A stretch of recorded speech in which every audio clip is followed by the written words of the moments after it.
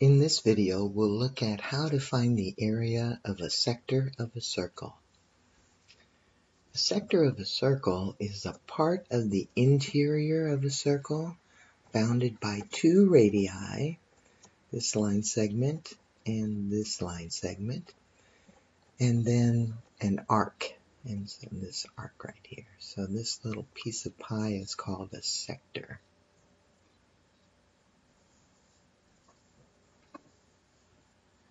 The area of a sector of a circle is a fractional part of the area of the entire circle.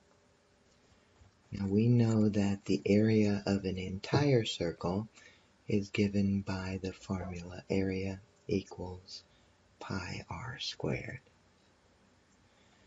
So in this problem, since my sector has a central angle that measures 90 degrees, I know that there's 360 degrees in the entire circle.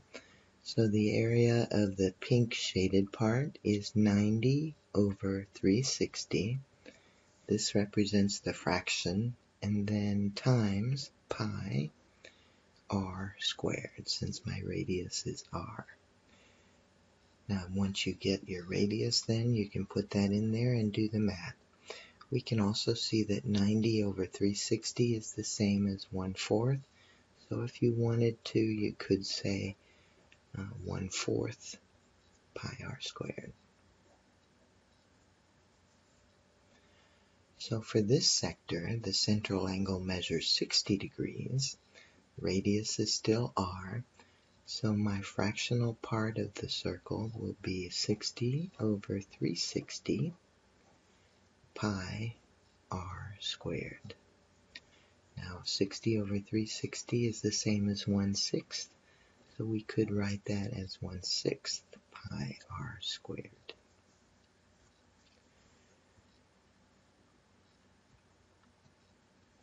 On this one, we have a central angle of 240 degrees, since I'm looking for the shaded region right here.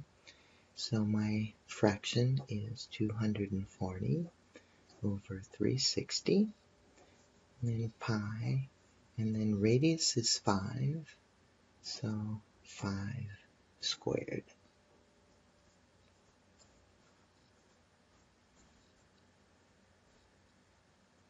If we do the math, 240 over 360 is 2 thirds. 5 squared is 25. So this is the same as 50 over 3 pi inches squared.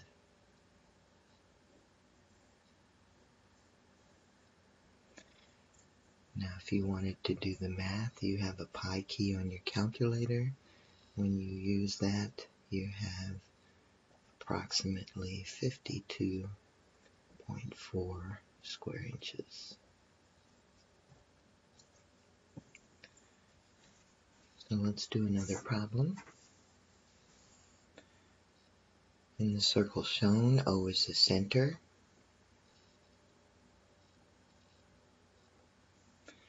The radius of the circle is 10 centimeters, so up here is 10, and this one also is 10. Find the area of the shaded sector. Again, we want the fraction that the shaded area represents. And that would be 70 over 360. And then multiply that by pi r squared. r is 10. Now we can just do the math. This is 7 over 36 times pi times 100. So we have 700 over 36 pi, which reduces to 175 over 9 pi, or approximately 61.1. My units are centimeters, centimeters squared.